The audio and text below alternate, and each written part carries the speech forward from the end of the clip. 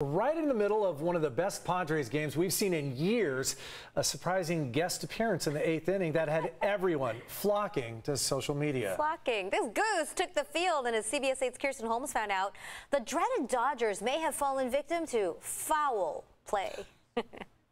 It was the fowl seen round the world after a goose got loose at the Padres Dodgers game last night, and the crowd, well, they went quackers. We thought we saw everything in the game, and now a new friend wants to join our party. We went straight to the goose, Padres Hall of Famer Rich Goose, but heard he was out hunting.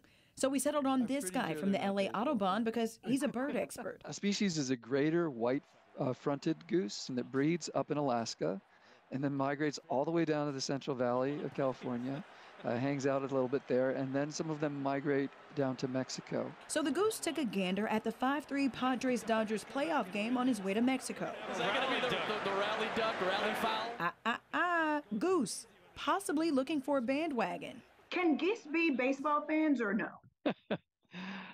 no, they're not really baseball fans. So before the Dodgers goose was cooked, this fowl gave everybody goosebumps. The crowd is going quackers. This is an intense playoff game. We're having a blast calling it, but I cannot help but laugh at this moment.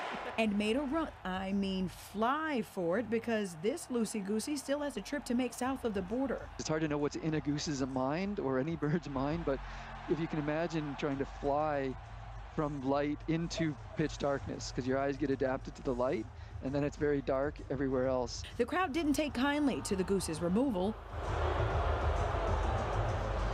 The Dodgers confirm it was safely released, but if you're looking for calls to speak foul language for the next Padres game, you have time. There's baseball playoffs in October and birds migrating in October. Our fine feathered friend ushered in a big win for the Padres, and they're going to take on the Dodgers right here at Petco Park. We're all out of goosebumps for you. Friday at 5:37. I'm Kirsten Holmes getting goosey with it for CBS 8.